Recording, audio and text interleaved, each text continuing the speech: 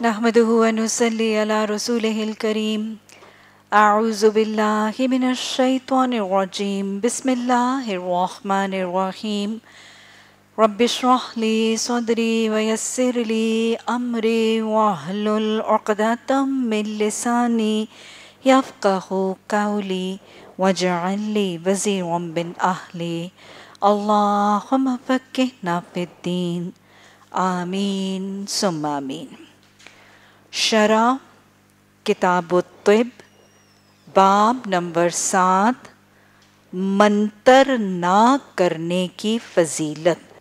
हदीस नंबर 1967 इब्ने अब्बास रज़ी अल्लाह ताला ने फरमाया कि नबी सल्लल्लाहु अलैहि वसल्लम ने फरमाया, मेरे सामने की गई अगली उम्मतें। सो एक एक दो दो पैगंबर गुजरने लगे।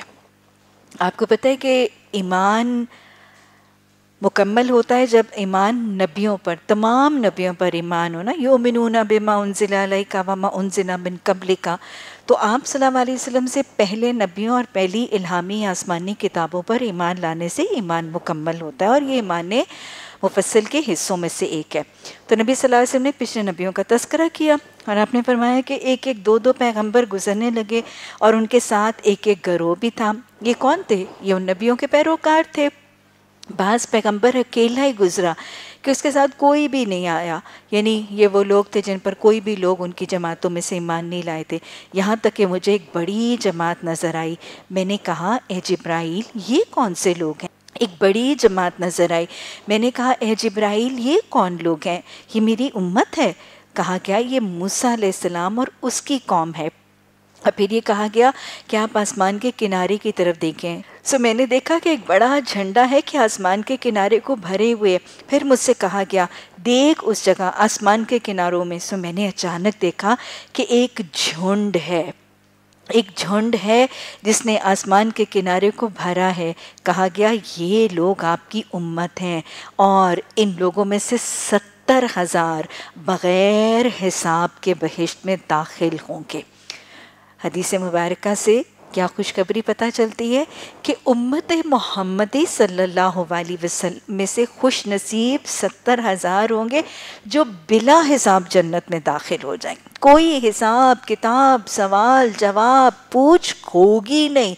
उनका कोई हिसाब नहीं होगा और उनको जन्नत में दाखिल कर दिया जाएगा। इनके बारे में कुछ और हदीस से ये पता चलता है कि ये बिला हिसाब दाखिल होने वाले जन्नत में जाके अपना नाश्ता करेंगे। और जन्नत में नाश्ता किस चीज़ से ज़्यापत उनकी होगी? हमें पता चलता है कि मछली की कलेजी से और वो मेंढा जो जन्नत के बागात में चर चुग के मोटा ताज़ा हुआ है, उस जन्नत में चर चुग के पलने वाले मेंढे के गोश्त से उनकी ज़ियाफ़त होगी। और ये भी पता चलता है कि ये लोग, ये वो खुश नसीब होंगे जो कौन से जन्नत के दरवाजे में से? एक दरवाज़ा ही इन बिला हिसाब जाने वालों के लिए मखसूस कर दिया गया इसे बाबुल यमीन कहा जाता है। बाबुल यमीन दाएँ हाथ वालों का दरवाज़ा, जिसमें से बिला हिसाब लोग जन्नत में दाखिल होंगे। और हज़रत आयशा रज़ी अल्लाह तहा ने जब नबी सल्लल्लाहु अलैहि वसल्लम से सवाल किया था कि, या रसूलुल्लाह सल्लल्लाहु अलैहि वसल्लम, कुछ कुछ नसीब ऐसे भी होंगे जिनका हिसाब ही नहीं होगा और वो बिला हिसाब जन्नत में दाखिल होंगे? आपने फरमाया हाँ आयशा, वो लोग जो तन्हाई में अपने गुनाहों को याद करके रोते हैं। खौफ खुदा से रोना, दिल में तकवा के जज्बे का होना, ये ये बिला हिसाब जन्नत में दाखिले का ज़रिया बनेगा। अल्लाहुम्मा हासिबना हिसाब यसीरा। अल्लाहुम्मा नफ्सी तकवाहा सत्तर हज़ार बग़ैर हिसाब के बहिश्त में दाखिल होंगे। अल्लाहुम्मा तजाल न अल्लाह हमें नहीं खुश नसीबों में से बना देना। फिर नबी सल्लल्लाहु अलैहि वसल्लम घर में दाखिल हुए और आपने बयान नहीं किया कि वो सत्तर हज़ार कौन है? सो लोगों ने आपस में गुफ्तु की और हमने अल्लाह को माना और उसके रसूल वसल्लम की पैरवी की। सो लोग हम में हैं। या औलाद जो हमारे इस्लाम में पैदा होंगी, हम जाहलीत में पैदा हुए। नबी वसल्लम को ये खबर पहुँची, यानी लोग आपस में बात करने लगे कि ये सत्तर हज़ार किन में से होंगे, हम में से होंगे या हमारी औलादों में से होंगे, क्योंकि हमने तो कुछ दौड़ जाहलीत में भी गुजारा। अब जब नबी अलैहि वसल्लम को ये खबर पहुँची तो आप सलाम वसल्लम बाहर तशरीफ़ लाए। और फिर आपने फरमाया, ये वो लोग होंगे जो क्या नहीं करते। यानी बाद में आप सल्लल्लाहु अलैहि वसल्लम ने बताया कि ये सत्तर हज़ार लोग जो बिला हिसाब जन्नत में दाखिल होंगे, ये क्या करने वाले होंगे? वो झाड़ फूंक नहीं करते, बदशगुनी नहीं लेते, ना बीमारी से बदन दागते हैं और अपने रब पर तवक्ल और भरोसा करते हैं। और काशा ने कहा, क्या मैं भी इनमें से हूँ? नबी वसल्लम आपने फरमाया हाँ। फिर एक और मर्द खड़ा हुआ, उसने सवाल किया, या रसोल्ला सल वसम क्या मैं भी तो इनमें से हूँ? आपने फरमाया वो काशा तो उससे पहले इस कमले कलमे के साथ आगे हो गया। तो क्या आप देखें कि यहाँ पर नबी वसल्लम ने इस हदीस में उन लोगों का तस्करा किया जो इन सत्तर हज़ार अफराद में बिला हिसाब जन्नत में शामिल किए जाएँगे। उनके अमल बताए जा रहे हैं, वो झाड़ फूंक नहीं करते। झाड़ फूंक का मतलब उर्फ्याम में दम करना है। रुकिया इलाज का एक तरीका है। दम करना और रुकिया से इलाज करना, ये इलाज का एक तरीका है। तो क्या इस हदीस से ये लग रहा है कि रुकिया के ज़रिए या दम के ज़रिए इलाज करना वो नापसंदीदा है और जो लोग ये इलाज का तरीका इस्तेमाल नहीं करते, वो जन्नत में जाएँगे? सूरह फातिहा का नाम ही हमने सूरह रुकैया देखा। आगे जाकर हम वाक्य पढ़ेंगे कि अल्लाह के रसूल वसल्लम के सहाबा इकराम ने दम भी किया, जहर के लिए भी किया और दम करना हदीस और सुन्नत के वाक़ात से भी साबित है। तो ये झाड़ फूंक ना करने का तस्करा बुनियादी तौर पर किस हवाले से है? शिरकिया दम। जब दम के कलमात कुरान और मसनून दुआओं के अलावा कुछ शिरकिया कलमात पर उनका इहसार और दारोमदार हो तो उन शिरकिया कलमात या गैर कुरानी या गैर मसनून कलमात से दम करने का तस्वुर शरीयत में मौजूद नहीं है। आगे जाके हम एक हदीस पढ़ते हैं। कि आप वसल्लम के सामने सहाबा कराम ने अपने दम का तस्करा किया कि हम दौरे जालियत में भी दम किया करते थे तो क्या हम दम करें? तो आपने फरमाया कि अपने दम मेरे सामने पेश करो। यानी जो तुम लोग पढ़ते हो वो मुझे सुनाओ। अगर नबी सल्लल्लाहु अलैहि वसल्लम फरमाया कि अगर वो मुझे मुनासिब लगेंगे और उनके अंदर शिरकिया, कलमात नहीं होंगे तो तुम्हें इजाज़त दे दी जाएगी। तो लिहाजा ये कौन सी झाड़ फूँक है? जो शिर के अंदाज में, गैर मसनून कलमात में, कुरान के अलावा कुछ और अल्फाज में की जाती है, उसके लिए मना किया जा रहा है। वरना दम करना हदीस से भी जायज़ है और नबी वसल्लम की सुन्नत से भी साबित है। और क्या नहीं करते? बदशगुनी नहीं लेते। शगुन का तस्वुर बदशगुन और नेक शगुन दोनों शक्ल में मौजूद हैं। नेक शगुन तबर्रुक के तस्वुर पे इस्तेमाल किया जाता है कि ये तस्वुर कि अगर फ़लाँ चीज़ मेरे पास होगी या मेरी मेरी मलकियत में होगी या मेरे कमरे में या मेरी दुकान में होगी या मेरी अलमारी या घर में होगी तो उसकी वजह से कोई भलाई मिलेगी, कोई खैर मिलेगी, कोई तकलीफ़, कोई आफत जाती रहेगी, ये तबर्रुक का तस्वुर है। ये नेक शगुन का तस्वुर है। हम तबरुक के तस्वुर पर पीछे बात कर चुके हैं कि बरकत वाली ज़ात तबारक बिया दहल मुल्क, बरकत वाली ज़ात सिर्फ़ अल्लाह की है। बरकत को अल्लाह के अलावा किसी और के साथ मंसूब करना शिर के अकबर है और ये मना है। ये मना है, कबीरा गुनाह है, हराम है। तो लिहाजा लिहाजा तबर्रुक का तस्वुर किसी के नेक शगुन के साथ एसोसिएट करने का तस्वुर भी शिरक है। बदशगुनी, नहूसत का तस्वुर क्या है? नहूसत और बदशगुनी का तस्वुर जो अरबों के यहाँ भी उस दौर में राइज था और आज तक बदशगुनी और नहूसत का तस्वुर कि फला चीज़ मनहूस है, इसको बदशगुनी कहा जाता है। कि अगर कोई चीज़, कोई रंग, कोई अदद, कोई गिनती, कोई फला मामला हुआ तो उसके होने की वजह से तकलीफ़ आएगी। मुश्किल, बीमारी, तकलीफ़ क्राइसिस तंगी या कोई खैर का सिलसिला रुक जाएगा। ये है नहूसत का तस्वुर अल्लाह सुबहाना ताला ने कुरान में इसको जिप्त कहकर पुकारा है। जीम बाप जिप्त कहकर पुकारा है, जी जीम बाता जिप्त कहकर पुकारा है और ये तागूत की पैरवी करने वाले, शैतान के पैरवी करने वाले जिप्त पर ईमान लाते हैं। जिप्त पर ईमान लाना, बदशगुनी को मानना, नहुसत के तस्वुरात को इख्तियार करना, ये सब शिरक है। कबीरा गुनाह है, हराम है और मना है कुरान हदीस की रूह से। मसन आप देखें कि बहुत सी चीज़ों के अंदर बदशगुनी का तस्वुर राइज किया जाता है। कुछ जानवरों के साथ बदशगुनी मंसूब की जाती है काली बिल्ली रास्ता काट गई। ये क्या है? समझते हैं कि अगर काली बिल्ली आगे से गुजर गई तो शायद कोई बदशगुनी होगी, कोई तकलीफ़ होगी, कोई हादसा होगा, कोई परेशानी आ जाएगी। काले कुत्ते को नहस और मनहूस समझा जाता है। इसी तरह कुछ कुछ, परिंदों को मनहूस समझा जाता है। मसन कव्वा अगर मंडेर पे बोला वो तो खैर मनहूस नहीं, वो कहते हैं कि मेहमान आएगा। हालाँकि मेहमान जहमत नहीं, रहमत होता है, लेकिन इसी तरह उल्लू को, चमगादड़ को मनहूस समझा जाता है। कुछ परिंदों को मनहूस समझा जाता है, कुछ जानवरों को मनहूस समझा जाता है, कुछ रंगों को मनहूस समझा जाता है। काले रंग के साथ नहूसत को मंसूब किया जाता है। लोग शादियों और ब्याहों में काला जोड़ा नहीं पहनते। अपनी बरी और अपनी अपनी ईदों के तोहफ़ तहफ़ के मौके पर लोग काला कपड़ा और काला जोड़ा नहीं देते, लेते क्योंकि इसके साथ बदशगुनी को मनहूस किया जाता है और कहा जाता है कि ये शायद ये बदकिस्मती का ज़रिया बनेगा या मुश्किल का ज़रिया बनेगा। खुशी मौकी, खुशी के मौक़ों के ऊपर काले लिबास को जेब तन करना पसंदीदा नहीं किया जाता। इसी तरह कुछ लोग सफ़ेद रंग को इसको बेवा खातन के साथ मंसूब करने की वजह से इसको भी नहश कहा जाता है, इसको भी मनहूस कहा जाता है। हालाँकि अल्लाह के रसूल सल्लल्लाहु अलैहि ने मर्दों के लिए तो सफ़ेद लिबास, मर्दों और मुर्दों के लिए सफ़ेद लिबास ही की तजवीज़ दी।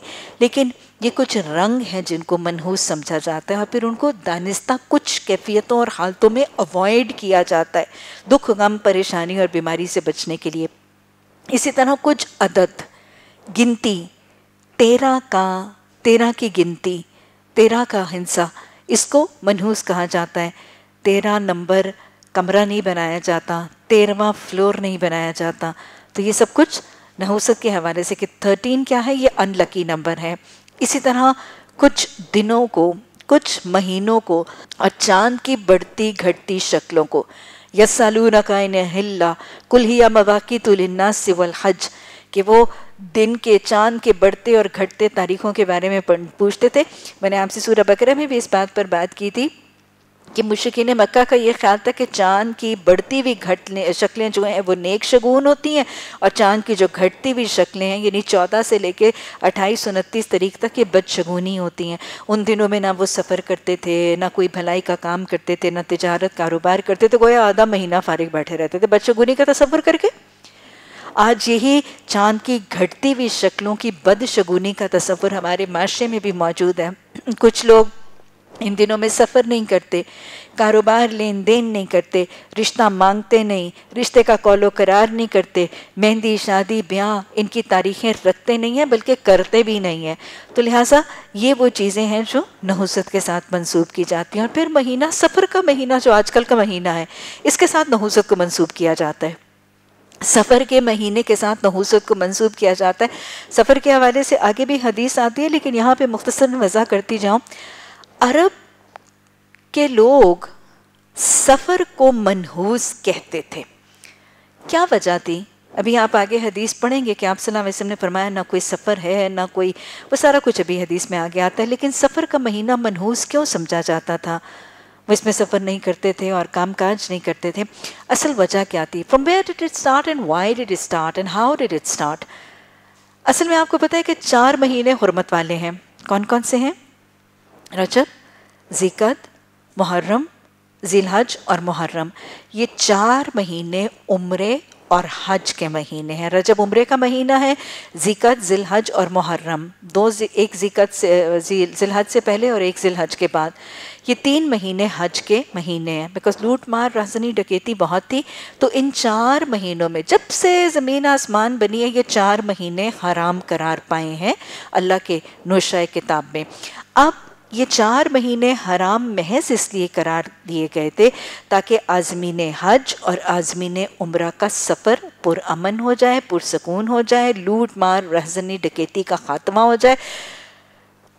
हुरमत वाले महीनों में और आज़मीन उम्र और हज आराम और सुकून से सफ़र कर सकें। अब होता क्या था कि इन चार महीनों में हमने पीछे पढ़ा कि ये नसी का तरीका राइज करते थे कि कभी एक महीने को हलाल करते थे, उसकी जगह किसी और को हराम कर लेते थे।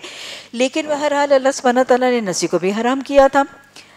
अब जब चार महीने किसी किस्म की राहजनी डकैती नहीं करते थे तो आप बताएँ कि मुश्किन मक्का और बल्कि सारे जजीरतुल अरब में बुनियादी ज़रिया माश क्या था? लखो तक सहरा, फ़सलें कोई नहीं थी, पानी का ज़रिया कोई नहीं था, इनके फ़िक्र माश के लिए ना कोई ज़रात ना खेती बाड़ी थी, ना कोई लंबी चौड़ी तजारत थी। वो तो फिर अहले कुरैश को अल्लाह सुबहाना ताला ने नबी वसल्लम के परदादा को वो तजारत ली, इलाफ़ कुरैश सिखाई गई थी, लेकिन उससे पहले तजारत भी नहीं थी। और सनत का तो कोई तस्वुर ही नहीं था। ना इलम था, ना फहम था, ना हुनर था, ना कोई ऐसी उनकी मैन्युफैक्चरिंग यूनिट्स थे। तो ना बुनियादी तौर पर ज़रात है, ना तजारत है, ना किसी किस्म का कोई सनत व हरफत है, ना किसी किस्म की कोई मैन्युफैक्चरिंग है और ना कोई सनत है। इनका वाहिद ज़रिया आमदनी लूट मार था। कबीलों को लूटना, बस्तियों को लूटना, उनका माल समेटना और या फिर उनके औरतों, बच्चों, उनके मर्दों को लॉन्डी गुलाम बना के अपना रेवेन्यू और अपना माल जनरेट करना सो बुनियादी तौर पर रहजनी, डकेती, लूट, मार इनका ज़रिया आमदनी और ज़रिया माश था। अब जब चार हरमतों वाले महीने में से तीन महीने पै दर पै आते थे जिकत जिलहज और मुहर्रम। तीन महीने इनको लूटने, मारने किसी चीज़ का कोई मौका नहीं मिलता था। तो जैसे ही मुहर्रम के बाद सफ़र आता था, ये जिनके हाथ भी बंधे हुए थे और मुँह भी बंधे हुए थे और मुफलसी और कंगले पन का शिकार थे अपने हुरमत के महीनों में जो ही मुहर्रम वाला महीना गुजरता था और सफ़र का महीना आता था, फिर ये खुल के लूट मार करते थे। फिर ये खुल के लूट मार करते थे। और जब ऑब्वियसली एक कबीला लूट मार करता है तो फिर नुकसान किसी मजलूम कबीले को होता है। तो इस महीने में ये लोग ये रियलाइज़ करते थे कि इस महीने में बहुत खून बहता है, बहुत लूट मार होती है, हमें बहुत नुकसान होता है। हमारी औरतें लूटी जाती हैं, हमारे बच्चे गुलाम बनाए जाते हैं, लेकिन वो अंडरलाइंग कॉज को असेस नहीं करते थे। हर साल सफ़र के आते सार कत्ल शुरू हो जाते थे, इनको नुकसान होने शुरू हो जाते थे, इनको खसारे होने शुरू हो जाते थे, घर कटने, लुटने, छुटने लग पड़ते थे। हर साल सफ़र के आते ऐसा होता था, ये रियलाइज़ नहीं करते थे कि अंडरलाइन कॉज वो पहले तीन हुरमतों वाले महीने हैं। लेकिन हर साल सफ़र के आते जब एक क्राइसिस और एक मुसीबतों का अंबार आता था तो आहिस्ता आहिस्ता इन्होंने सफ़र को मनहूस बना के नहूसत के इसके साथ मंसूब कर दिया। ये ओरिजिन था सफ़र के नहूसत का। और ये आज तक चल रहा है। आज हमारे माशरे में भी, हालाँकि सफ़र के महीने में कोई ऐसा मामला अब नहीं होता, लेकिन फिर भी ना शादियाँ होती हैं, ना ब्याह होते हैं, ना शादियाँ रमज़ान में करते हैं, ना मुहर्रम में करते हैं, ना सफ़र में करते हैं, बाकी तो रह गई नौ महीने शादी के। और फिर कभी गर्मी और कभी सर्दी। तो मतलब हम कितनी रैशनल बातें करते हैं ना। सफ़र में कोई नहूसत नहीं और फिर कुछ लोग अहादीस के ज़रिए मंसूब करते हैं कि इस महीने में आफतें उतरती हैं और इस महीने में बलाएँ नाजिल होती हैं। बल तो मुझे यही नहीं पता कि बलाएँ क्या होती हैं। भला पता नहीं किसको कहते हैं।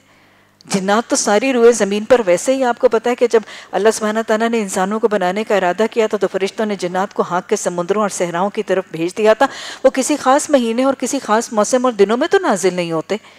तो लिहाजा ये कह देना कि हदीस में ये अल्फाज है कि आफतें आती हैं बलाएँ आती हैं तो भलाएँ तो पता नहीं एग्जिस्ट ही नहीं करती। जन्नात मौजूद है, लेकिन जन्नात तो हर वक्त, हर हाल में वैसे ही हैं। कुछ ख़ास महीने के लिए, उनके लिए मामला उनको छूट अलहदा से नहीं दी गई।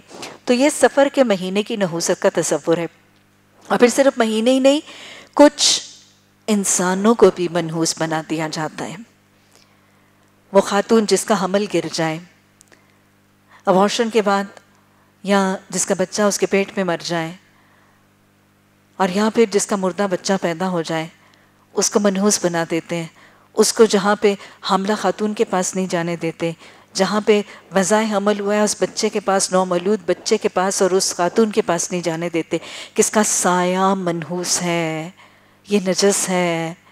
ये मनहूस है? इसका साया पड़, और फिर बेवा खातून को मनहूस कहा जाता है। ये बिल्कुल एक हिंदुआना तरीका है। और कई दफ़ा तो मैंने बड़े सख्त जुमले सुने कि बेवा खातून के बारे में ये कह दिया गया कि अपने शोहर को खा गई है। अस्तगफिरुल्लाह रब्बी।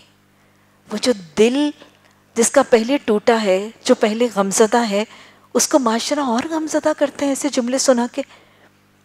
आज हमारे माशरे में कई दफ़ा लोग बात करने से पहले और चीज़ें किसी के साथ मंसूब करने से पहले सुनते नहीं और सोचते नहीं कि उसके असरात कितने दूर रस होंगे। और उसकी इम्प्लीकेशंस और उसकी, उसके असरात किसी के जहन और दिन पर कैसे मुरतब होंगे? उसको शादी पर जाने से रोक दिया जाता है। और मैंने शायद आपसे पहले भी बात की होगी कि वो जब मेहंदी वगैरह लगाने का मौका होता है तो कह देते हैं कि जी, सात सुहागने मेहंदी लगाएँगी, लेकिन ये जो बेवा औरत है, इसको मेहंदी लगाने से वैसे तो खैर अच्छा है, एक गलत रस्म से रुक जाती है। लेकिन हमारे माशरे में उसको इसलिए थोड़ा रोकते हैं, वो मरे हुए को और मारते हैं, दुखे हुए को और दुखाते हैं और वो बंदरों का सा तरीका कि किसी के ज़ख्म को और कुरेद के बड़ा कर देते हैं। तो ये सब नहूसत के तस्वुर आप सल्लल्लाहु अलैहि वसल्लम ने फरमाया, अल्लाह अल्लाह के हुक्म से बिला हिसाब जन्नत में जाने वाले लोग वो होंगे जो क्या नहीं करते, जो बदशगुनी का तस्वुर नहीं लेते। और शगुन क्या है? हालात का बुरा होना या बिगड़ना, इसका ताल्लुक अल्लाह कुरान में कहता है, तुम्हारे शगुन तो तुम्हारे अपने गले में है। यानी इंसान के ऊपर मुश्किल का आना, जैसे हमने गजवा अहद के बाद देखा कि अल्लाह सुबहाना ने पूछा कि ये लोग सवाल करते कि ये तकलीफ़ कहाँ से आई? तो अल्लाह सुबहाना ने फरमाया, तुम्हारे अपने हाथों की लाई हुई है। तो इंसान का अपना नोशाए अमल, इंसान का अपना नामा अमाल जो उसके गले में डाला गया, असल में तो उसका शगुन, उसका नामा अमाल है। जैसा करोगे वैसा भरोगे दुनिया में भी और आखिरत में भी। तो लिहाजा आप सल्लल्लाहु ने फरमाया कि वो बदशगुनी नहीं लेते और ना बीमारी से बदन दागते हैं। पीछे भी हमने बात की थी कि आप सल्लल्लाहु ने इलाज के तीन तरीके बताए थे और दागने को इलाज का तरीका तो बताया था, लेकिन आपने दागने से मना फरमाया था और अपने रब पर तवक्ल करते हैं और भरोसा करते हैं।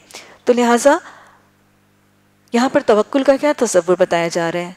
तवक्ल का तस्वुर इलाज का करना तशखीस का करना अदम तवक्ल नहीं है। इलाज का हराम और शिरकिया तरीक़ों से करना असल में अदम तवक्ल है। इस हदीस से वाज तौर पर पता चल रहा है कि कोई शख्स जायज़ और हलाल तरीके से तशखीस करवाता है इन्वेस्टिगेट करवाता है डायग्नोस करवाता है या इलाज करता है, वो लैक ऑफ़ तवक्ल नहीं है, वो अदम तवक्ल नहीं है। अदम तवक्ल क्या है?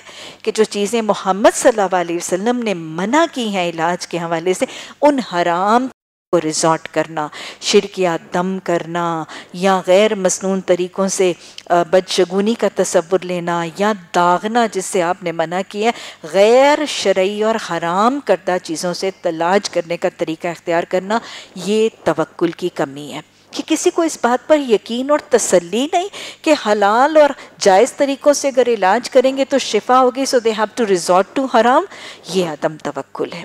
अल्लाह हमें बीमारी में, तकलीफ़ में, दुख में अपनी पहचान, अपनी बुरहान, अपना ईमान और तवक्ल अता फरमा। और सहाबा कराम की दौड़ भी नज़र आती है कि कैसे जन्नत में जाने की ख्वाहिश है सबके दिलों में। बाब नंबर आठ, हदीस नंबर 1969 हज़रत अबू हुरैरा रज़ी अल्लाह तआला से रवायत है कि नबी सल्लल्लाहु अलैहि वसल्लम ने फरमाया, एक की बीमारी दूसरे को नहीं लग जाती। और शगुन बद लेना कुछ हकीकत नहीं, और ना हामा है, ना सफ़र है। यानी सफ़र का महीना ना मुबारक नहीं, और भाग कोड़ी से, जैसे तू शेर से भागता है। गोया बीमारियों की हकीकत के बारे में बताया जा रहा है कि सारी बीमारियाँ एक से दूसरे को नहीं लगती हैं, और आज हम सब जानते हैं, बहुत सी बीमारियाँ ऐसे हैं। जैसे ब्लड प्रेशर एक से दूसरे को लगता है ब्लड प्रेशर है शुगर है, मेदे की अमराज हैं अल्सर्स हैं, दमा है अस्थमा है, जिसको है उसकी सांस की नाली की प्रॉब्लम है, उसको रहेगा। लेकिन इसके मुकाबले में टीबी वो एक से दूसरे को लग जाएगी। तो बहुत सी ऐसी अमराज हैं जो एक शख्स के अपने अंदरूनी अज़ा की कमी की वजह से हैं। Something is went wrong inside the body उसकी वजह से जो बीमारियाँ होती हैं, वो एक से दूसरे को नहीं लग जाती। उनके बारे में वहम करना कि ये छूत छात है और एक से दूसरे को मुंतकिल होगी, वो नहीं होगी। लेकिन अलबत् जैसे भाग कोड़ी से कुछ बीमारियाँ ऐसी हैं, कुछ वबाई अमराज ऐसे हैं जो एक से दूसरे को मुंतकिल होते हैं। और यहाँ पर भी नबी सल्लल्लाहु अलैहि वसल्लम ने बदशगुनी से और सफ़र के महीने की नहूसे से बचने की ताकीद फरमाई।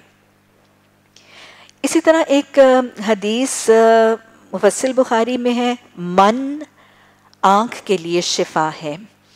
हदीस है हज़रत सईद बिन जैद रज़ी अल्लाह की रवायत से कि नबी सल्लल्लाहु अलैहि वसल्लम ने फरमाया कि खुम्बी असकसम मन है और उसका पानी आँख के वास्ते शिफा है। खुम्बी एक ख़ास किस्म की एक जड़ी बूटी सी थी जो कि रेतीली ज़मीन में ज़्यादा उगती थी और रबी की फ़सल के साथ ज़्यादा उगती है। इसके पत्ते भी बहुत ज़्यादा नहीं होते और इसकी टहनी और नालियाँ भी बहुत ज़्यादा नहीं होती हैं और ऐसे जैसे खुद से खुद ज़मीन के अंदर उग जाती है और बहुत तेज़ी से उगती है। और अरब के लोग जब इस खास मौसम में, रबी के मौसम में जब ये बहुत ज़्यादा उगती थी तो अरब के लोग इसको ज़मीन की चेचक भी कहते थे। हमें रवायात से पता चलता है कि अल्लाह के रसूल सल्लल्लाहु अलैहि वसल्लम की हयात तय्यबा में जाबिर रज़ी अल्लाह तन की रवायत से तिबरी ने रवायत की है कि एक मदीना में एक मौका ऐसा आया कि ज़मीन में ये खुम्बी के जो सारे पौधे थे वो बहुत ज़्यादा निकल आए और लोग कहने लगे कि ये ज़मीन की चेचक है। तो आप सल्लल्लाहु अलैहि वसल्लम ने फरमाया कि ये ऐसा नहीं है, बल्कि ये एक ख़ास किस्म का मन है और इससे आँखों की शिफा है। इसको मन इस हवाले से कहा जा रहा है कि एक तो ये कि जैसे आपको पता है ना कि मन जो बनी इसराइल के ऊपर नाजिल होता था, वो पानी के कतरे नाजिल होते तो ये बिल्कुल खुद से खुद नाजिल होता था। और मन का मतलब एहसान का भी होता है। तो गोया ये अल्लाह सुबहाना ताला की तरफ़ से एक एहसान है कि उसने आँखों की बीमारियों की शिफा का एक जो है वो मामला जड़ी बूटी की शक्ल में दिया। और तीसरी बात, इसको मन इसलिए भी कहा गया है कि इसके पानी को मन इसलिए कहा गया है कि इंसान को खुद मेहनत करके इसकी फ़सल को काश्त नहीं करना पड़ता, बल्कि अल्लाह के एहसान की शक्ल में ये खुद से खुद ज़मीन से उगती है। ज़मीन का एहसान है और अल्लाह का एहसान है कि ये खुद से खुद उगती है। और अल्लाह का एहसान है कि इसमें अल्लाह ने आँख की शिफा का मामला दिया है। और वैसे मन के साथ मुशाबहत रखती है। और ये नहीं कि इसको आँखों में डायरेक्टली डाला जाएगा। अक्सर हमें हवाला जहाज़ से मिलता है कि इस पानी को थोड़ा सा इसका जो कुंभी का जो पानी होता है ना, जिसको आप मन फरमा रहे हैं, इसको सुरमे में डाला जाता है और फिर आँखों में डाला जाता है। और कुछ हवाला जहाज़ से ये भी पता चलता है कि कुंभी के खाने के साथ भी कुछ आँखों की अमराज जो हैं, वो ठीक हो जाती हैं। बहरहाल पता क्या चल रहा है? कि अल्लाह सुबहाना ताला ने मुख्तलिफ़ चीज़ों में शिफा रखी है। और तस्दीक हो रही है, वो पहली हदीस की जो हमने पढ़ी है कि अल्लाह ने जो बीमारी नासिल की है, उसके लिए शिफा भी उतारी है। All what we need to do is what हमें खुद मेहनत, मशक्क़त, तहकीक दरियाफ्त करके बीमारियों का इलाज जो है उसको ढूंढना है। लेकिन शिफा बहरहाल हर बीमारी की मौजूद है। और वैसे भी फिर क्या पता चलता है? मायूसी क्या है? मायूसी कुफर है। बीमारी की हालत में नाउमीद और मायूस होना ये इससे भी इज्तनाब करना है, क्योंकि हदीस बता रही कि शिफा तो हर एक के लिए मौजूद है। हर चीज़, हर बीमारी काबिल इलाज है। इसी तरह हदीस आगे, बाब नंबर नौ। नहीं है, सफ़र और एक बीमारी है जो पेट को पकड़ती है। हदीस नंबर 1970 हज़रत अबू हुरैरा रज़ी अल्लाह ताला से रवायत है कि नबी सल्लल्लाहु अलैहि वसल्लम ने फरमाया, अदवी भी नहीं, सफ़र भी नहीं, हामा भी नहीं। तो एक देहाती ने कहा, अदवी का मतलब है कि जो इन्फेक्शन एक से दूसरे को लगती है। तो एक देहाती ने कहा कि, या नबी सल्लल्लाहु क्या हाल है मेरे ऊँटों का? कि होते हैं रेत में जैसे हिरन, यानी उनका बदन बिल्कुल साफ़ होता है। और उनमें आता है खारिश वाला ऊँट उनके दरमियान और उनको खारिशदार कर देता है। तो आपने फरमाया फिर पहले को खारिश किसने लगाई थी? यानी बीमारी और ये सब कुछ क्या होती है? अल्लाह के हुक्म से आती है। अगर सिर्फ़ एक से दूसरे को मुंतकिल होती है तो पहले को भी तो कहीं अल्लाह के हुक्म से आती है। नेट बीमारी अल्लाह के हुक्म से आती है और अल्लाह के हुक्म से जाती है। चाहे वो वबा की सूरत में भी हो तो एक वबा में रहने वाला भी बसा औकात एक शख्स बच जाता है। आप देखते हैं घर में फैमिली में बच्चों को वो आ, वो उसके आ, काकड़ा लाकड़ा चिकन पॉक्स आता है घर में और एक घर में शायद चारों बच्चों को नहीं हुआ होता लेकिन बहुत दफ़ा होता है तीन बच्चों को हो जाता है हुआ किसी को भी नहीं था लेकिन चौथा बच जाता है। असल में क्या है?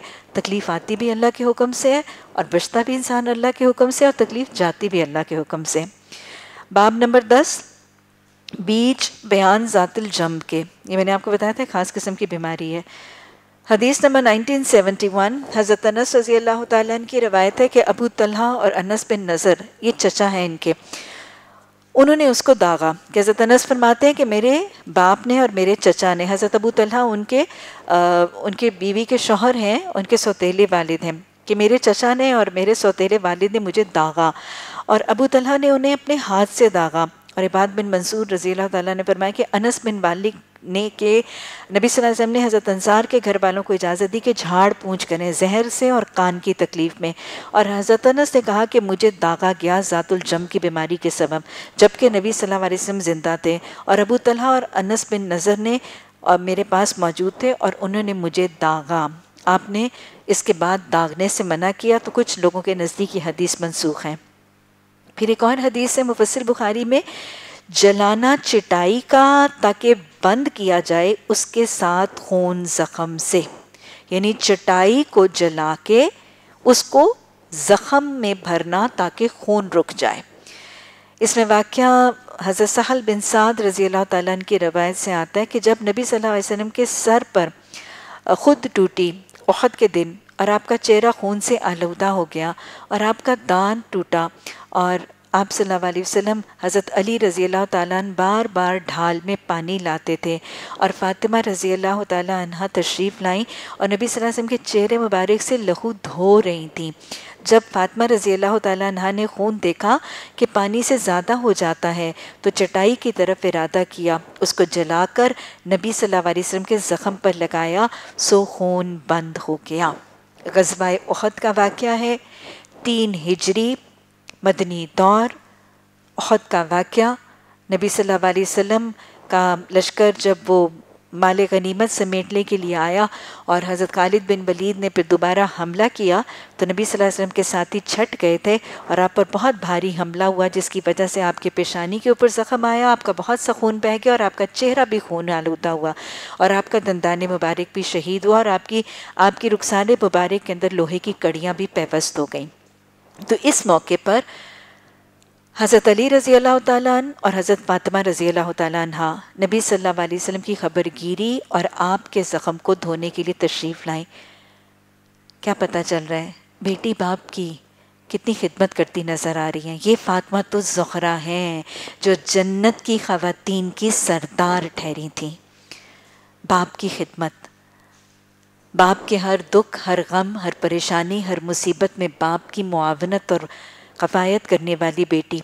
मक्का का दौर दो कि नबी सल्लल्लाहु अलैहि वसल्लम की पुश्त मुबारक पर जब वो ऊँटनी की गलाजत से भरी हुई बच्चेदानी रख दी गई थी और नबी सल्लल्लाहु अलैहि वसल्लम सजदे की हालत में थे और इतना गंद, इतनी गंदगी और इतना बोझ कि आप सल्लल्लाहु अलैहि वसल्लम सजदे से सर नहीं उठा पा रहे थे।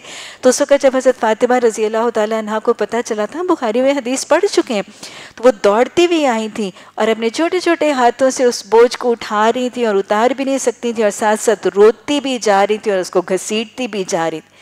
बाप का गम नहीं देखा जा रहा था ना, बाप की तकलीफ़ नहीं देखी जा रही थी। यहाँ पर फिर वही मौका है कि नबी सल्लल्लाहु अलैहि वसल्लम का वो ज़ख़म है और खून बह रहा है और हज़रत फातमा रज़ी अल्लाह तह परेशान है और बाप के ज़ख़म को धोती नज़र आती है।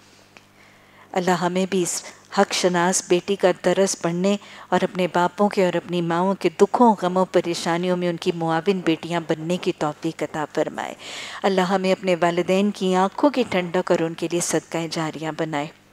और फिर आप देखें कि सिर्फ़ हज़रत फ़ातिमा नहीं है, साथ हज़रत अली भी हैं, दामाद भी। नबी सल्लल्लाहु अलैहि वसल्लम भी कितने हक शनास नज़र आते हैं, क्योंकि तुम्हारे तीन बाप हैं ना, एक तुम्हारा हकीकी बाप, एक तुम्हारी बीवी का बाप और एक तुम्हारा उस्ताद। और वैसे भी नबी सल्लल्लाहु अलैहि वसल्लम तो हज़रत अली के लिए बाप की जगह पे हैं, ससुर की जगह पे भी हैं, एक बड़े भाई की जगह पे हैं, एक उस्ताद की जगह पे भी हैं तो हज़रत अली रज़ी अल्लाह ताला भी हक देते हुए नज़र आते हैं। और फिर हमें पता चलता है कि इलाज के लिए क्या किया जा रहा है? ज़ख़म से अगर खून बह रहा हो तो उसको पानी से धोना। ये सिर्फ़ उस दौर में नहीं, अभी भी। आपको पता है कि जब भी कोई कट लग जाता है और खून बह रहा होता है तो पहली फ़र्स्ट एड आज भी यही की जाती होती कि उसको प्रोफ्यूजली धो दिया जाए अच्छे खुले पानी से। और इसका मकसद क्या होता है? एक तो वो सारी गंदगी, जो इन्फेक्शन जो डर्ट जो जरासीम उस कट पर लगे हैं वो वॉश ऑफ़ हो जाएँगे। और फिर वो पानी जो है उसको क्लॉट करने में भी हेल्प करता है। क्लीन भी करता है क्लॉट भी करता है, और खून के रुक जाने और ज़ख़म के साफ़ होने का ज़रिया बनता है। लेकिन अगर पानी के धोने से खून ना रुके तो धोते ही नहीं जाएँगे। बस औकात कुछ लोग ये भी करते हैं कि बस वो खून बह रहा है तो बस धोते ही चले जा रहे हैं। अगर थोड़ा सा धोने से साफ़ हो गया और खून नहीं रुक रहा ठंडे पानी की तो पर ठंडे पानी की वजह से क्लॉटिंग हो जाती है ना। लेकिन अगर बड़ा कोट है और कोई बड़ी खून की नाली कट गई है और खून नहीं रुक रहा तो फिर धोते ही नहीं जाएँगे। फिर कोई और तरीका इलाज जो है, वो उसको अपनाया जाएगा। हज़रत फातमा रज़ी अल्लाह तह ने चटाई को जलाया और उस राह को, जख्म में खून को रोकने के लिए भर दिया। और ये बहुत साइंटिफिक सी बात है। हर दौर में उस दौर के हवाले से इलाज के तरीके होते हैं।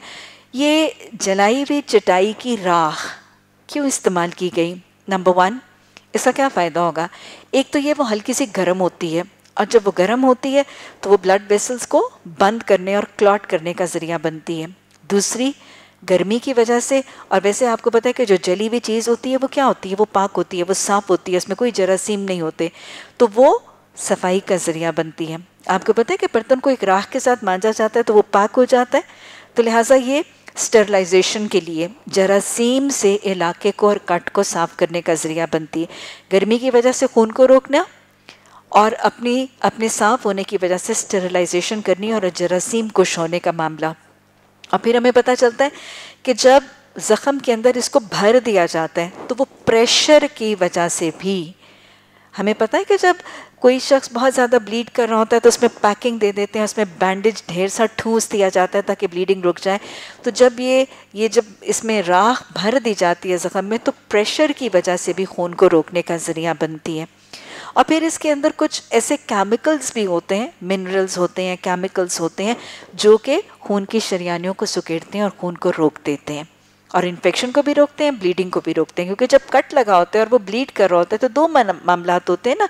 एक तो ये कि खून बहुत ज़्यादा बह जाएगा और दूसरा, वो जरासीम चले जाएँगे गंदगी की वजह से। तो ये जलाई हुई चटाई की राख, इन दोनों मसाइल को हल करके जरासीम इसको, ज़ख़म को बेहतर बनाने और नुकसान से बचाने का ज़रिया बनती है। बहरहाल, नबी सल्लल्लाहु अलैहि वसल्लम के साथ हज़रत तो ये एक इलाज का तरीका इसको इस्तेमाल किया जा सकता है। बाब नंबर ग्यारह बुखार दोजक के जोश में से है। हदीस, नबी सल्लल्लाहु अलैहि वसल्लम की हदीस में हमें पता चलता है कि हज़रत इब्ने उमर रज़ी अल्लाह तआला की रवायत है कि नबी सल्लल्लाहु अलैहि वसल्लम ने फरमाया कि बुखार दोजक के जोश में से, जोश में से है, सो इसको पानी से ठंडा करो। बुखार के लिए ये तिब्ब नबी के नुस्खे हैं ना, कि अगर बुखार आए तो उसको पानी से ठंडा करो। ये आज भी आप देखते हैं कि जब बहुत ज़्यादा तेज़ बुखार होता है, और वैसे भी हमें बुखारी का वाक़ पता है कि जब नबी सल्लल्लाहु अलैहि वसल्लम को विसाल से पहले जो बीमारी थी, उसमें बुखार बहुत तेज़ हरारत थी तो आप सल्लल्लाहु अलैहि वसल्लम ने महातुलमोमिन को क्या कहा था? आपने फरमाया था, सात मशकों के मुँह खोलो। आपने हुक्म दिया था कि मुझे एक हौज में, एक लगन, एक टब किस्म के बर्तन में बिठाओ और मेरे ऊपर सात मशकें खोलो। यानी बहुत सा पानी पोर करो। तो ये बुखार के लिए आपने हयात तयबा के वाक़े में भी और हदीस में भी आपने बुखार के जोश को ठंडा करने के लिए पानी इस्तेमाल करने की ताकीद की। और आज की मेडिकल साइंसेस भी यही बात बताती हैं कि जब बुखार बहुत ज़्यादा हो जाता है और इतना ज़्यादा हो जाता है कि गोलियों तक से नहीं उतरता तो क्या होता है? पानी की पट्टियाँ की जाती हैं। और ख़ास तौर पर किस पर? जिसम के अंदर वाले हिस्से पर नहीं, वो जो एक्सपोज बॉडी पार्ट्स होते हैं, जिसको हवा वगैरह लगती है तो बाजुओं के ऊपर, हाथों के ऊपर, सर के ऊपर और पाँव और टांगों के ऊपर। धड़ के ऊपर नहीं की जाती, टांगों, बाजुओं और सर के ऊपर किया जाता है, क्योंकि यहाँ पे खून की सर्कुलेशन की वजह से जब वो पानी एवेपरेट करता है तो फिर वो टेम्परेचर को लोअर कर देता है। बहुत ही मेडिकल और साइंटिफिक सा एक असूल है। और आज हमारी मेडिकल साइंसेज भी इसकी तस्दीक करते हैं, लेकिन इसमें याद रखिएगा ये पानी जो है वो बर्फीला होना ज़रूरी नहीं है।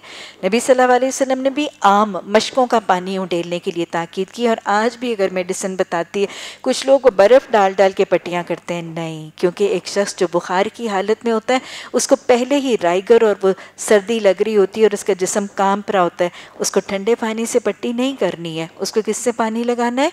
Normal fresh tap water. ताज़ा पानी। वो देख लीजिए कि हदीस में कितनी छोटी छोटी बातें हैं जिनकी ताकीद। और वही बात है कि जब हम सुनतों का इतबा करते हैं तो कितनी खैर बरकत आती है। अब बताएँ, एक एक शख्स जो बुखार में है या एक माँ जिसका बच्चा बुखार में है, अगर वो सिर्फ़ पानी के ज़रिए इलाज करती है और इसलिए करती है कि मोहम्मद सल्लल्लाहु अलैहि वसल्लम ने किया था तो क्या है? उसको सुन्नत के इतबा का अजर भी मिलेगा और फिर उस सुन्नत के इतबा की वजह से बुखार भी जाता रहेगा। अल्लाह हमें सुन्नतों को आँखें बंद करके अपनी ज़िंदगी में राइज करने की तोफ़ी अता फरमाए। हदीस नंबर 1972 हज़रत फातमा मुंजर की बेटी से रवायत करती हैं कि इसमा रज़ी अल्लाह तह का दस्तूर था कि जब उसके पास कोई बुखार वाली औरत लाई जाती थी कि उसके वास्ते दुआ करे तो वह पानी लेती थी और उसको उसके और गरीबान के दरमियान में छिड़क कर कहा करती थी कि हमें नबी अलैहि वसल्लम बुखार को पानी से ठंडा करने का हुक्म देते थे। गोया सहाबा और सहाबियात का तरीका भी ये है कि वो तिब्ब नबी को अपनाती थी। नबी अलैहि वसल्लम के इलाज के तरीक़ों पर ईमान ला के उसके मुताबिक सुनत के इतबा के मुताबिक इलाज भी करती थी। और यहाँ पे ये जो बात पता चल रही है कि उनके पास कोई बुखार वाली औरत लाई जाती थी कि वो दुआ करें। तो यहाँ से क्या पता चल रहा है? किसी ज़िंदा शख्स से दुआ करवाई जा सकती है। किसी ज़िंदा शख्स को नेक समझ के, साहिब इल्म और साहिब ईमान समझ के उससे दुआ करवाई जा सकती है। क्योंकि आपको पता है ना कि नेक अमल भी दुआओं की कबूलियत का ज़रिया बनते हैं। नमाज़ के बाद दुआ कबूल होती है, कुरान की तलावत के बाद दुआ कबूल होती है, रोज़े के वक्त दुआ कबूल होती है। तो एक नेक शख्स की ज़िंदगी में जो दुआएँ राइज होती हैं, मुमकिन है कि उसकी वजह से उसकी दुआ ज़्यादा कबूल हो। तो किसी शख्स को दरख्वास्त ज़िंदा शख्स को दुआ की दरख्वास्त की जा सकती है। अलबत् फ़ौत शुदगान को पुकार कर हाजत रवाई करना शिरक है। ज़िंदा सहाबा कराम से भी दुआ करवाई जाती थी। सहाबा कराम मोहम्मद सल्लल्लाहु अलैहि वसल्लम से भी दुआएँ करवाते थे। लेकिन फ़ौत होने के बाद किसी सहाबी ने नबी सल्लल्लाहु अलैहि वसल्लम को दुआ के लिए नहीं पुकारा। बाद में एक दूसरे के दौर में जो लोग दूसरे थे, वो एक दूसरे से ज़रूर कहते थे, लेकिन नबी सल्लल्लाहु अलैहि वसल्लम को दुआओं की दरख्वास्त नहीं करते थे आपके विसाल के बाद। और फिर ये कि हज़रत फ़ातिमा, हज़रत इसमा का पता चलता है कि वो दुआ भी करती थी और साथ साथ इलाज भी करती थी। गोया दुआ और दुआ दोनों इलाज के लिए ज़रूरी है। दुआ और दुआ दोनों इलाज के लिए लाजिम और मलजूम है। बाब नंबर बारह, बाब बयान में उस चीज़ के ज़िक्र से ताउन के बारे में, ताउन किसको कहते हैं जी? ताउन वो बीमारी है जो ख़ास किस्म के जरासीम जो चूहों के ज़रिए फैलते हैं। गंदगी की बीमारी है। और असल में गंदगी की बीमारी क्या है? कि जहाँ गंदगी होती है, कूड़ा करकट होता है और ये सारे ढेर होते हैं, वहाँ पर ये सारे जानवर और कीड़े मकौड़ों के साथ साथ कौन? चूहे वगैरह फैल जाते हैं। और जहाँ चूहा फैलता है तो चूहे के ज़रिए एक ख़ास किस्म का जरासीम जो ताउन पैदा करता है, वो फैल जाता है। तो इसलिए इसको गंदगी की बीमारी कहा जाता है। ये मुफसल बुखारी में हदीस है कि हज़रत उसामा बिन जैद रज़ी अल्लाह तन की रवायत से है कि नबी सल्लल्लाहु अलैहि वसल्लम ने फरमाया कि जब तुम किसी ज़मीन में वबा का सुनो, ये मैं आपको कुरान की तफसीर में ये हदीस सुना चुकी हूँ, आज इसको सुन लीजिए गौर से कि जब तुम किसी ज़मीन में वबा वबा किसको कहते हैं? ऐसी इन्फेक्शन जो एक से दूसरे को मुंतकिल होती है वबा उस बीमारी को कहते हैं जो छूत छात से एक दूसरे तक मुंतकिल होती है। जब तुम किसी ज़मीन में वबा सुनो तो उसमें ना जाओ और जब उस ज़मीन में, इसी ज़मीन में वबा पड़े जिसमें तुम हो तो उससे ना निकलो। बहुत ही साइंटिफिक और बहुत ही लेटेस्ट मेडिकल की जो तालीमत हैं, उस पर मुश्तमिल ये हदीस है। वबाई अमराज के रोकथाम इन्फेक्शस डिज़ीज़ की प्रिवेंशन के लिए आज लेटेस्ट साइंटिफिक इंफॉर्मेशन यही बताती है। अगर आप आज W H O world health organisation को देखें या प्रिवेंटिव मेडिसिन के सारे तरीके देखें तो वो यही तरीका कार तजवीज़ करते हैं कि जब किसी इलाके में एक वबा या एक वबाई मर्ज फैल जाती है तो बाय इंटरनेशनल लॉज यही कहा जाता है कि इस इलाके के लोग दूसरे इलाके में मुंतकिल ना हो ट्रांसफ़र होंगे तो वो बीमारी को अपने साथ ले जाकर उस बीमारी की फैलने और उसकी तरसील का ज़रिया बनेंगे। आज मेडिकल साइंसेस इतने सालों के बाद इतनी दिहाइयों के बाद कुछ साल पहले इंसान के दिमाग और इंसान की साइंटिफिक तरक्की ने यहाँ तक तरक्की की कि उनको समझ में आ गया कि ये वबाई अमराज को रोकने का तरीका ये है कि यहाँ के लोग बाहर नहीं और बाहर के लोग अंदर ना आए। और आज फिर वर्ल्ड हेल्थ ऑर्गेनाइजेशन में ये रूल्स और ये लेगेसीज बनाई गई।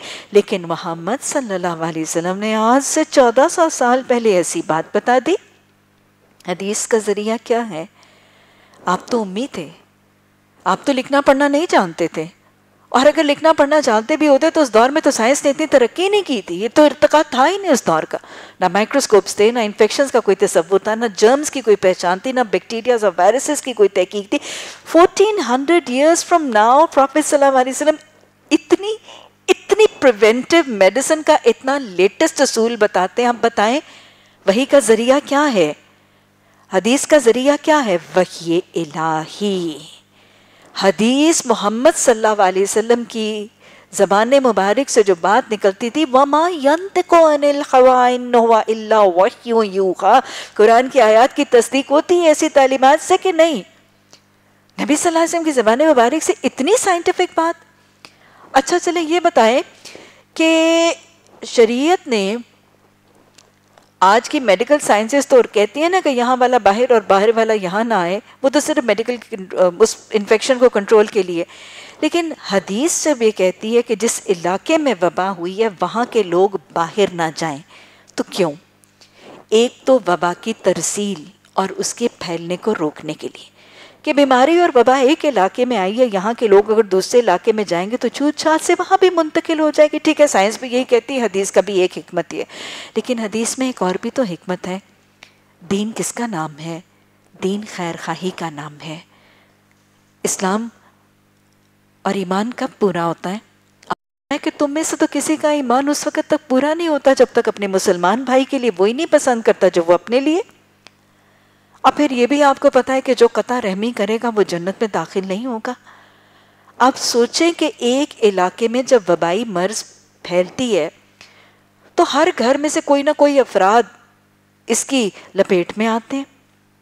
अब अगर रिश्तेदार, अज़ीज़, कराबतदार, अयादत करने की बजाय, खैर खाही करने की बजाय अपने मरीज़ रिश्तेदारों की कता रहमी करके उनको उस वबा की मरज में मौत तक तड़पने के लिए छोड़कर अपनी जान बचा के भाग जाए तो क्या ये कता रहमी नहीं है? क्या ये खैर खाही है? और क्या ये अयादत है? और क्या ये अदम तवक्ल नहीं? वहाँ पर रहकर भी बीमारी किसके हुक्म से आएगी? बीमारी तो अल्लाह के हुक्म से आएगी। और अल्लाह के हुक्म से वो बचेंगे या अल्लाह के हुक्म से वो मुलविस होंगे? अगर उनकी किस्मत और तकदीर में बीमारी अल्लाह के हुक्म से तो दूसरी बस्ती जिसमें मुंतकिल होकर जाएँगे, उस बीमारी से बच के वहाँ पे भी आ जाएगी। और अगर उनको उस तकलीफ़ में मुबतला होना किस्मत में नहीं है तो एन बीमार के पास रह के भी नहीं आएगी। तो ऐसे अपने रिश्तेदारों को जो एक ताउन की वबा में या एक ताउन की मरज में या इतनी मुल्क बीमारी की वबा में, जो है वो फंसे हैं, उनको जब छोड़ के वो जाते हैं तो ना अपना ईमान मुकम्मल छोड़ते हैं। ना वो अल्लाह पर तवक्ल करते हैं, कता रहमी के वो मुरतकब होते हैं, अद्दीन और नसीहा की वो खिलाफ वर्जी करते हैं, और फिर और फिर ये कि अपने आप को तकलीफ़ से फिर बचाने पर कादिर नहीं होते। तो शरीयत ने इसलिए कहा कि यहीं पे रहो, अपने रहम के रिश्तों की आदत करो, ये आदत का अजर कितना है? इनके रहम के रिश्तों को निभाओ, इनके साथ खैर खाही करो। क्या तुम चाहोगे कि तुम्हें बीमारी में तड़पता हुआ छोड़ के तुम्हारे लिए कोई चला जाए तो तुम अपने ईमान को पुथूरा करके अपने रिश्तेदारों को छोड़ के कैसे चले जाओगे? और आपको पता है ना कि ये वाक़ बिल्कुल ऐसा वाक़ बनी इसराइल की एक बस्ती के साथ हुआ था। वहाँ पे ताउन की वबा फूटी थी।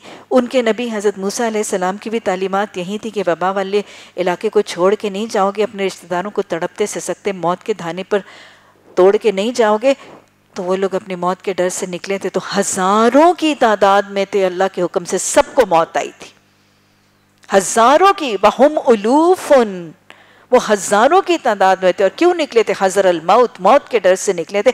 और अल्लाह ने क्या कहा था? मुतु, मर जाओ। और सबको मार दिया गया था, सबको मौत दे दी गई थी। तो लिहाजा इस वजह से अल्लाह सुबहाना ताला ने ये हुक्म दे दिया। और हमें पता चलता है कि कुछ हवायात में, हदीस से ही पता चलता है कि बनी इसराइल के सत्तर सत्तर हज़ार अफराद फिर उस एक दिन में, बनी इसराइल के सत्तर हज़ार अफराद उस एक दिन में ताउन की बीमारी के साथ मरे थे। हाँ जी, इसी तरह हज़रत उमर रज़ी तन की रवायत से हज़रत अब्दुल्ला बिन आमिर रज़ी तन की रवायत है कि हज़रत उमर रज़ी तन शाम की तरफ़ निकले और सो जब सरख में पहुँचे तो उन्हें खबर पता चली कि शाम में वबा पड़ी है। तो अब्दुलरहमान बिन औफ ने उनको खबर दी कि नबी सल्लल्लाहु अलैहि वसल्लम ने फरमाया था कि जब तुम वबा को किसी ज़मीन में सुनो तो उसमें ना जाओ।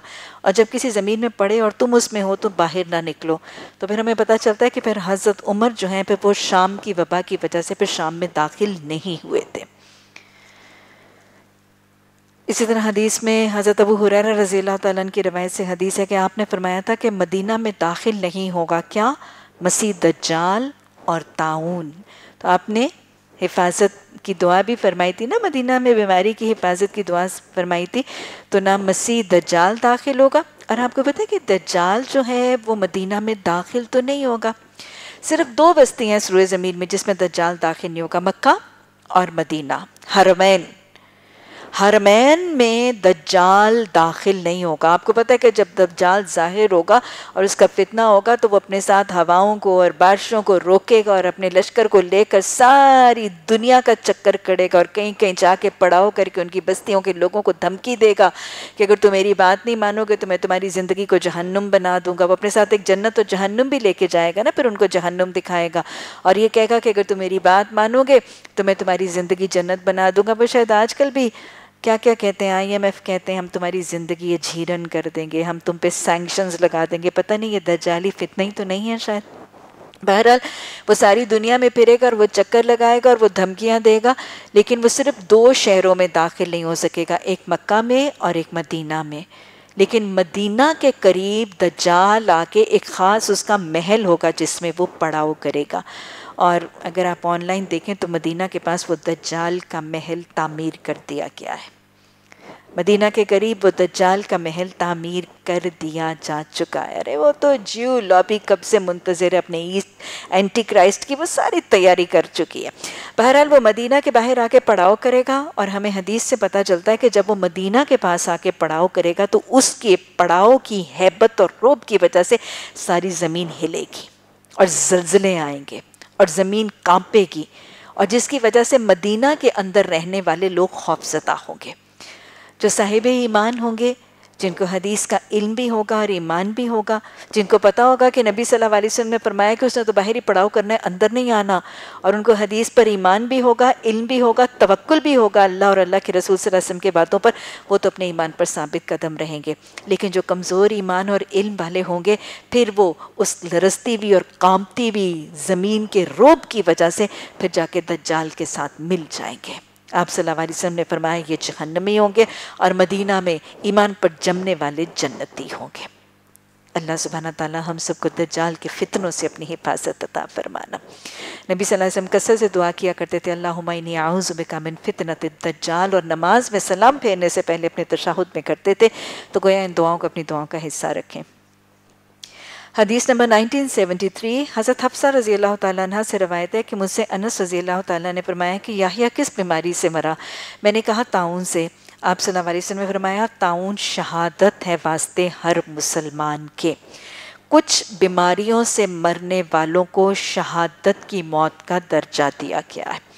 पेट की बीमारी और वबा में मरने वाले को शहादत का दर्जा दिया गया। और एक हदीस है, आप पढ़ेंगे तो फिर आपको समझ आएगी कि किस ताउन से मरने वाले को शहादत का दर्जा दिया गया। वो ताउन की मरज़ में मुबतला शख्स जो ताउन की वबा में रहने के बावजूद हदीस की इंस्ट्रक्शंस को मान के ताउन की वबा के इलाके से बाहर नहीं निकलेगा ताकि दूसरे इलाकों को इसमें मुबतला ना करें और अपने लोगों की खिदमत और यादत करें। ये अल्लाह और अल्लाह के रसूल सलासम की अतात करके अपनी जान की बाजी लगा के मरेगा तो दीन की गवाही देता ही तो मरा है। अशद मोहम्मद और रसूल करता हुआ ही तो फौत हुआ है तो लिहाजा ये शहीद है। हदीस पढ़ेंगे तो समझ आएगा।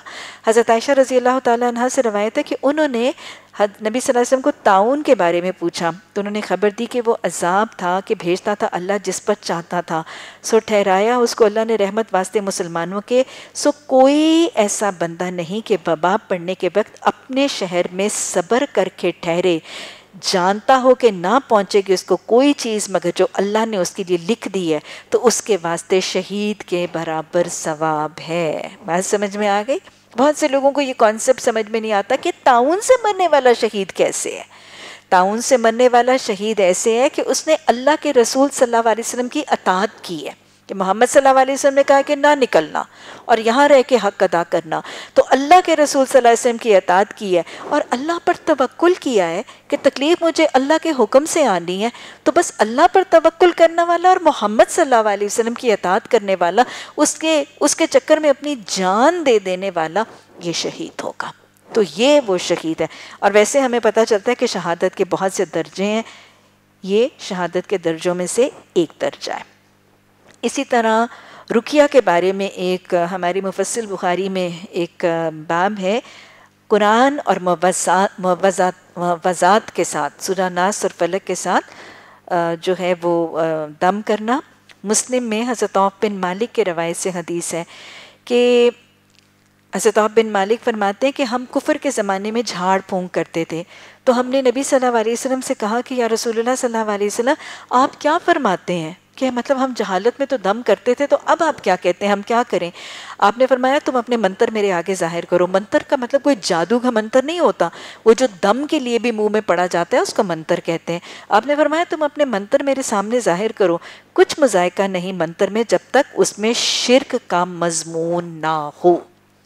तो शिरकिया कलमात से दम करना इस मुस्लिम की हदीस में मना है और जन्नत में बिला हिसाब लोग कौन से जाएँगे? कि शदीद से शदीद बीमारी में कोई दम बताता है, कोई वजीफ़ा बताता है तो वो महज इसलिए नहीं पढ़ लेता कि ये शिफा का ज़रिया बनेगा। नहीं। शिरकिया कलमात से इलाज शिरकिया कलमात से दम करना, ये तसवुर शरीयत का रंग नहीं है। और वैसे मैं आपको बता दूँ कि कुरान की आयात के हवाले से सिर्फ़ दम करने का तस्वुर है। पढ़ के फूंक देना, चाहे उस जिसम के हिस्से पर फूंकना, चाहे पानी पर फूंकना, चाहे खजूर पर फूंकना, खुराक पर फूंकना, लेकिन कुरान की आयात के साथ दम के अलावा भी और कोई तरीका हदीस और सुन्नत से साबित नहीं है। उसको लिखकर तावीज़ की शक्ल में करना, तावीज़ को बाँध के अपने जिस्म के किसी हिस्से पर बांधना, या उस तावीज़ को पानी में या किसी चीज़ में डाल के भिगोकर पीना या पिलाना, ये भी तरीक़ाकार ये भी तरीक़ाकार हदीस और सुन्नत से साबित नहीं है। तो लिहाजा सिर्फ़ और सिर्फ़ कुरानी और मसनून और गैर शिरकिया कलमात के साथ दम करना हदीस का तरीका है। इसके अलावा वो अगर कोई तावीज़ पहन रहा है या तावीज़ों को घोल के पिला पी रहा है तो ये अदम तवक्ल है कि मुशरकाना और गैर मसनून तरीके से इलाज पर तवज्जो दी जा रही है। इसी तरह मुस्लिम जाविर रज़ी अल्लाह तन की रवायत से हदीस है कि उन्होंने कहा कि अमर बिन हज़म ने आकर कहा कि हमारे पास एक मंत्र है, हम इसे बिच्छू पर झाड़ते थे। तो आप सल्लल्लाहु अलैहि वसल्लम ने फरमाया कि मेरे सामने ज़ाहिर करो और फिर जब आपको दिखाया गया तो आपने फरमाया, मैं इसमें कुछ मजायका नहीं देखता जो भाई को फ़ायदा दे और उसमें शिरक ना हो। तो गैर शिरकिया कुरान के कलाम के साथ दम किया जा सकता है। जैसे नबी सल्लल्लाहु अलैहि वसल्लम आउज़ुब कलिमातिल्लाहित्ताम्मत मिन शर्रि मा खलक और और इस तरह के मिलते जुलते कलमात के साथ दम करते नज़र आते हैं। और ये वाक़ हज़रत अबू सईद खुदरी रदी अल्लाह ताला की रवायत से वो तवील वाक़ आता है। आपने ये पहले पढ़ रखा है और मेरे से सुन भी रखा है। कि अल्लाह के रसूल सल्लल्लाहु अलैहि वसल्लम के सहाबी हज़रत अबू सईद खुदरी रदी अल्लाह ताला ने गरोह के साथ जा रहे थे और जहाँ पे इन्होंने पड़ाव किया। ये मैं पढ़ के आपको सुनाती हूँ कि चंद अरब के एक कौम पर से गुजरे तो उन्होंने ज़ियाफ़त नहीं की।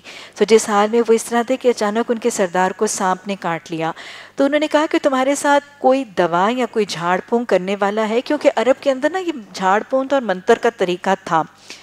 तुम्हारे अंदर कोई झाड़ पूछ या दवा करने वाला है? साहब ने कहा कि हाँ तुमने हमारी ज़यापत नहीं की और हम मंत्र नहीं पढ़ेंगे। यहाँ तक कि तुम्हारे हमारे वास्ते मजदूरी ठहराओ। सो अबू सईद खुदी रज़ी अल्लाह ताला सूरह फातिहा पढ़ने लगे और अपनी थूक जमा करते थे और थूकते थे और वो अच्छा हो गया और वह साहब के पास बकरियाँ लेकर आए। उन्होंने कहा कि हम इसको नहीं लेते। यहाँ तक कि हम नबी सल्लल्लाहु अलैहि वसल्लम से पूछें।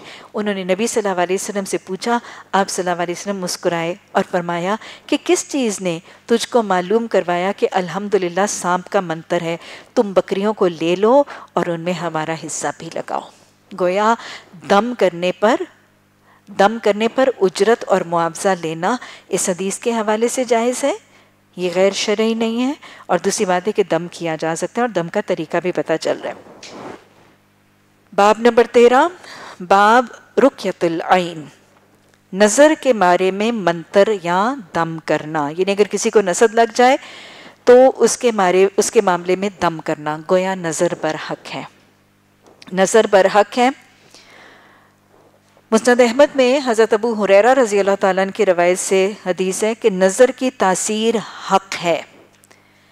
नज़र की तासीर हक है और हाजिर होता है उसको शैतान हसद करके।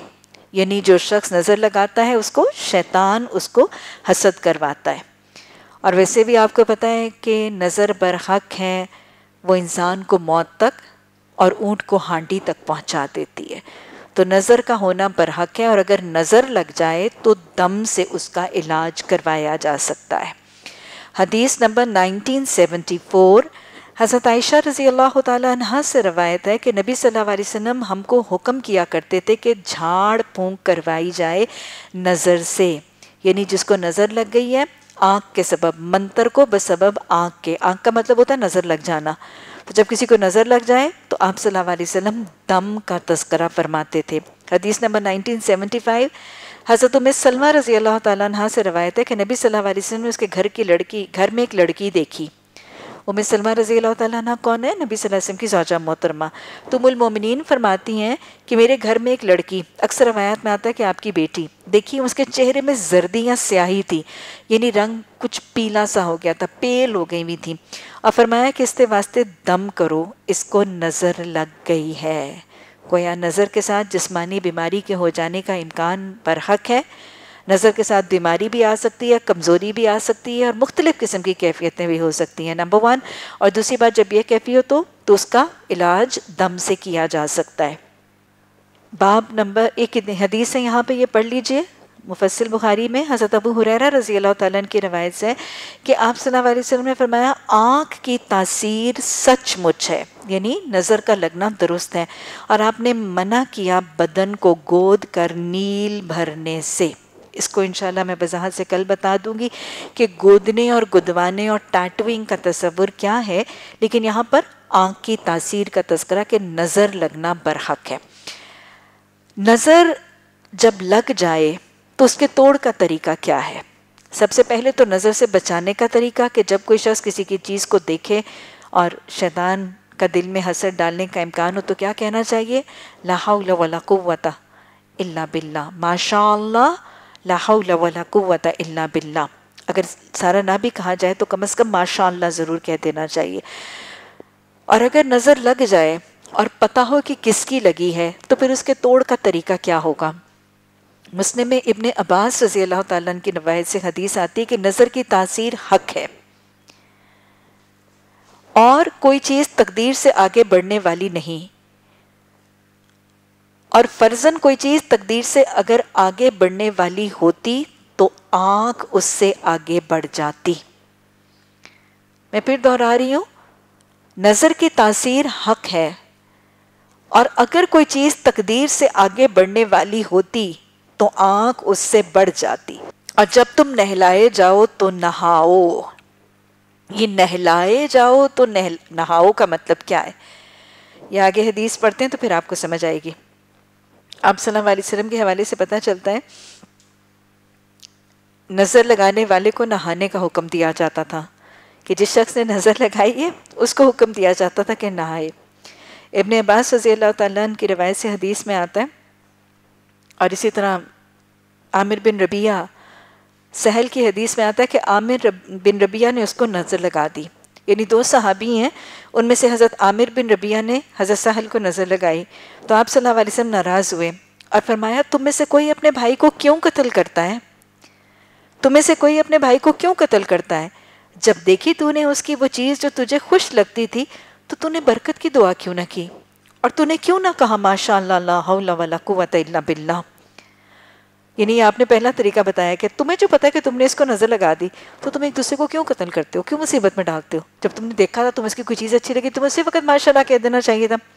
फिर आपने फरमाया कि नहा सो इसमें अपना मुँह और अपने दोनों हाथ और अपनी दोनों कोनियाँ और घुटने और दोनों पाँव की तरफों को और दाखिल तहबंद का और फिर एक प्याले में धो फिर इस मर्द को और उसके सर पर और पीठ पर डाल, फिर प्याले को उल्टा किया।